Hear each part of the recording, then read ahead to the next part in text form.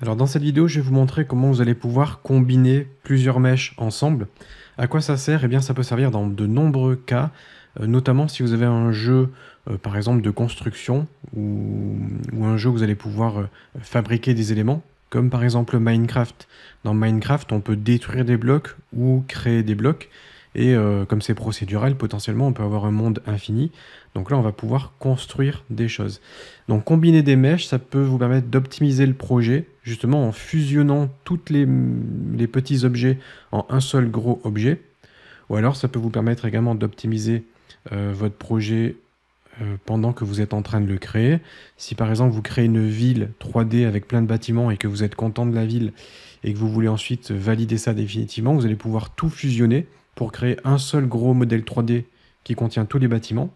Et pourquoi est-ce que c'est plus optimisé? Eh bien parce que c'est plus simple pour Unity de calculer un seul gros objet plutôt que plusieurs petits objets. Mais euh, bref, il y a plein de cas dans lesquels euh, vous pourriez être emmené à fusionner des objets. Donc là, je suis sur une scène Unity totalement vide.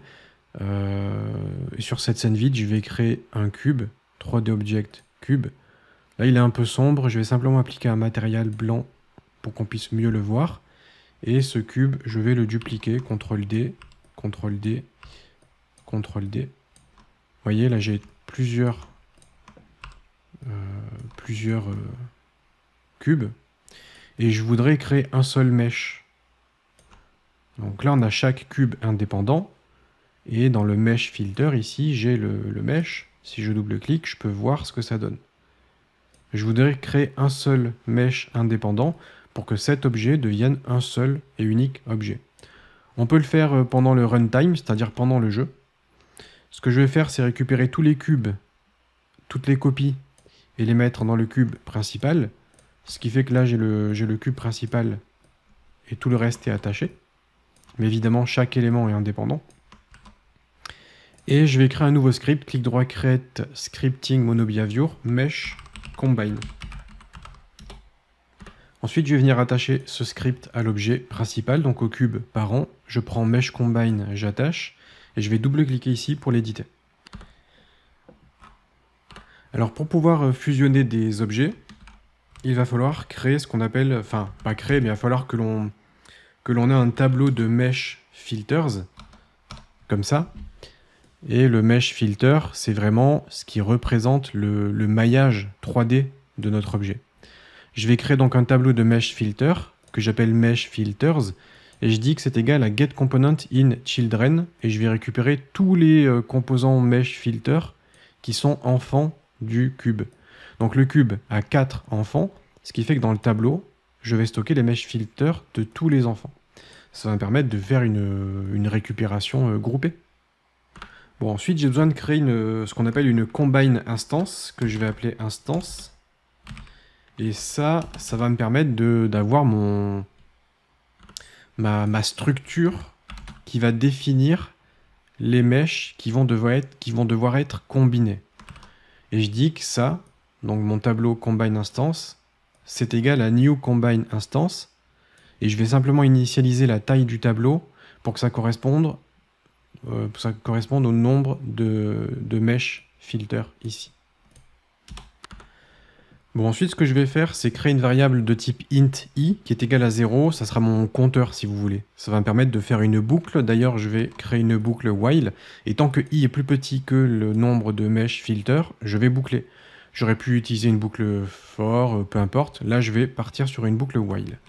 Ensuite, je vais accéder à l'instance i. Donc i sera égal à 0, puis 1, puis 2, puis 3.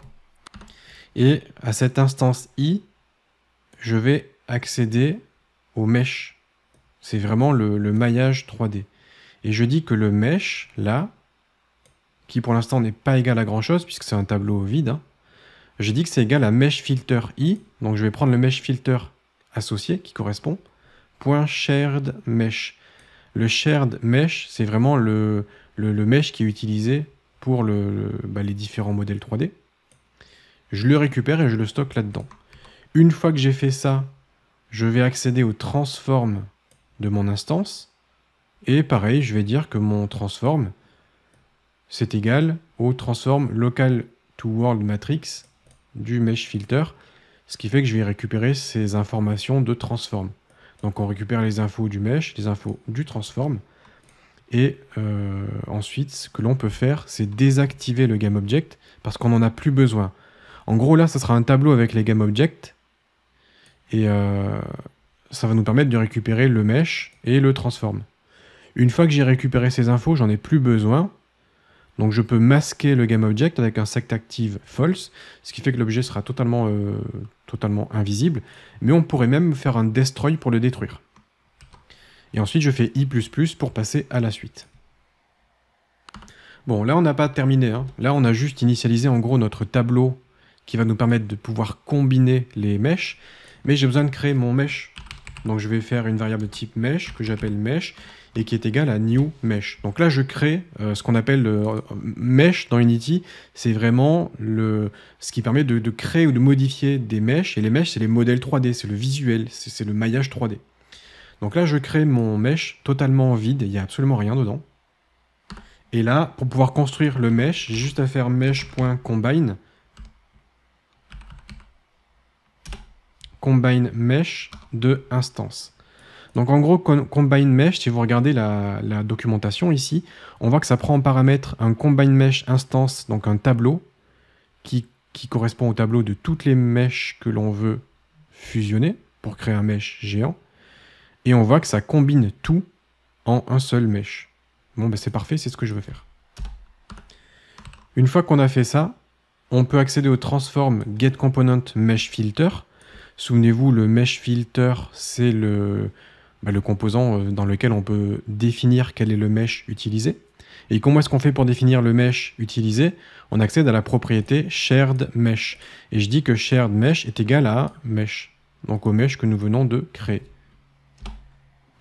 Et une dernière chose qu'il faut faire, c'est activer le GameObject parce que notre euh, transform ici, par défaut, n'est pas actif. Donc je vais l'activer avec un setActive true. Voilà pour ce petit script. Donc on peut tester. Je vais ici. On voit que le script est attaché au cube. On voit que le cube n'est pas du tout... Euh, euh, enfin, les, cubes enfants ne sont pas du tout solidaires ici. Je lance le jeu. Vu que je le fais dans le jeu, ben il faut que je lance le jeu pour, euh, faire la fusion. Et là, on voit que les cubes ont été désactivés. D'ailleurs, je pourrais les supprimer. Ça ne changerait rien. Là, j'ai un seul cube qui est euh, donc la fusion. J'ai un seul objet qui est la fusion de tous les objets. Et si je regarde dans le mesh filter ici, je vois que le mesh, c'est ça. Donc maintenant, c'est considéré comme un seul et unique objet. J'ai pu fusionner ça à la volée. Euh, donc comme je vous l'ai dit, ça, ça va vous permettre d'optimiser vos jeux. C'est beaucoup plus simple à calculer un seul objet que plusieurs petits objets. Donc ça permet vraiment d'optimiser tout ça. Et dans les jeux type Minecraft, c'est obligatoire de faire ça. Parce que chaque bloc que vous pouvez créer dans Minecraft, en fait, il est collé au reste du monde. C'est pas plein de petits objets, ça serait trop complexe à calculer. Dès qu'on crée un bloc euh, dans le jeu, le bloc est automatiquement attaché au monde pour que ça puisse être optimisé. Et voilà comment vous pouvez utiliser la classe Mesh Combine de Unity.